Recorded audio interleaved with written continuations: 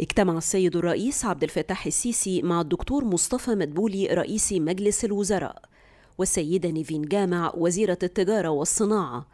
وصرح المتحدث الرسمي باسم رئاسة الجمهورية بأن الاجتماع تناول عرض نشاط جهاز المشروعات المتوسطة والصغيرة ومتناهية الصغر. وقد استعرضت السيدة وزيرة التجارة والصناعة في هذا الإطار أداء الجهاز خلال الفترة من يناير 2021 حتى مارس 2022 والتي تضمنت حوالي 200 ألف مشروع وفرت مئات الآلاف من فرص العمل بكافة القطاعات التنموية. فضلا عن مشاركة الجهاز في العديد من المبادرات القومية خاصة مبادرة حياة كريمة على مستوى محافظات الجمهورية. بالإضافة إلى الشق الخدمي في المبادرة والمتعلق بالدورات التدريبية للشباب لتطوير المشروعات الصغيرة والتعريف والتشجيع لفكر العمل الحر إلى جانب قيام الجهاز بتقديم خدمات الشباك الواحد لتأسيس المشروعات.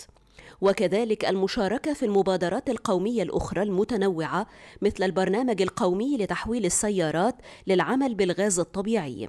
ومبادرة المجمعات الصناعية التي تهدف إلى دعم القطاعات الصناعية الصغيرة بالقطاعات الواعدة على مستوى المحافظات.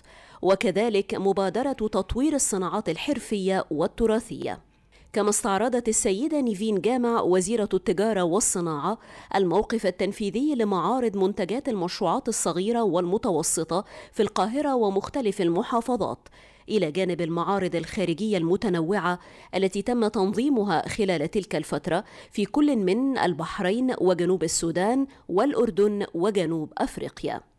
كما تم عرض التحضيرات الخاصة بدورة العام الجاري من معرض تراثنا 2022 والذي يستهدف دعم صغار مصنعي الحرف اليدوية والتراثية وفتح منافذ تسويق لمنتجاتهم حيث وجه السيد الرئيس باستكمال الخطوات المتخذة في سلسلة معرض تراثنا لمشاركة ممثلي كافة محافظات الجمهورية خاصة المحافظات الحدودية بما يساهم في ترسيخ الهوية الوطنية.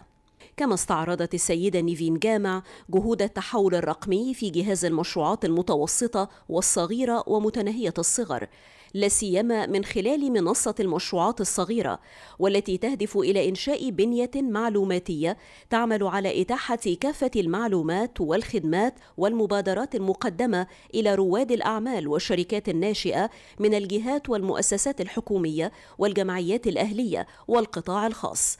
وقد وجه السيد الرئيس بإسناد تشغيل المنصة الإلكترونية للتحول الرقمي لجهاز المشروعات من قبل أحد بيوت الخبرة العريقة في مجال إدارة منصات رواد الأعمال. وذلك لإثراء المحتوى الرقمي بها والترويج المتطور لمنتجاتهم مواكبة لاحتياجات السوق. وتم أيضا خلال الاجتماع عرض أهم الإجراءات التنفيذية الخاصة بتفعيل قانون تنمية المشروعات المتوسطة والصغيرة ومتناهية الصغر رقم 152 لعام 2020 كما اجتمع السيد الرئيس عبد الفتاح السيسي مع الدكتور مصطفى مدبولي رئيس مجلس الوزراء والسيد هشام توفيق وزير قطاع الأعمال العام والفريق كامل الوزير وزير النقل والسيدة نيفين جامع وزيرة التجارة والصناعة. الاجتماع تناول متابعة الموقف التنفيذي الخاص بتطوير منظومة الموانئ على مستوى الجمهورية. وقد وجه السيد الرئيس بالاستمرار في جهود تطوير منظومة الموانئ البحرية المصرية وفق أعلى المعايير لتحقيق أقصى استفادة من الموقع الجغرافي المتميز لمصر بالتكامل مع محور قناة السويس كهمزة وصل بين الشرق والغرب. وبما يساعد على تعظيم عملية التبادل التجاري مع مختلف دول العالم. من جانبه عرض الفريق كامل الوزير الجهود القائمة لتطوير الموانئ المختلفة خاصة مشروعات ميناء الإسكندرية الكبير والذي سيضم ميناء الإسكندرية وميناء الدخيلة والميناء الأوسط بمنطقة المكس. بما في ذلك مستجدات إنشاء البنية التحتية لساحات التخزين الجديدة ومحطة تحيا مصر متعددة الأغراض إلى جانب حاجز أمواج كبير ومناطق لوجستية مختلفة وكذلك إعادة تأهيل رصيف الخدمات البحرية بالميناء. كما تم عرض سير العمل في مشروعات ميناء سفاجة. وكذلك الموقف التنفيذي الخاص باستكمال وتطوير ميناء العين السخنة الذي سيتم ربطه بشبكة خط القطار الكهربائي السريع.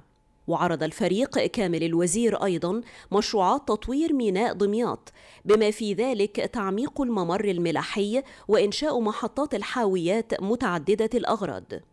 وأضاف المتحدث الرسمي أن الاجتماع شهد كذلك عرض الموقف التنفيذي لتطورات المرحلة الثالثة من الخط الثالث لمترو الأنفاق.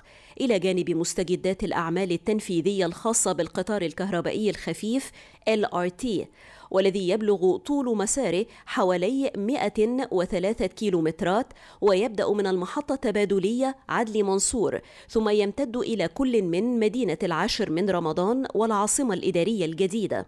ومن ثم سيساعد على إحداث نقلة نوعية غير مسبوقة في منظومة النقل الجماعي في القاهرة الكبرى.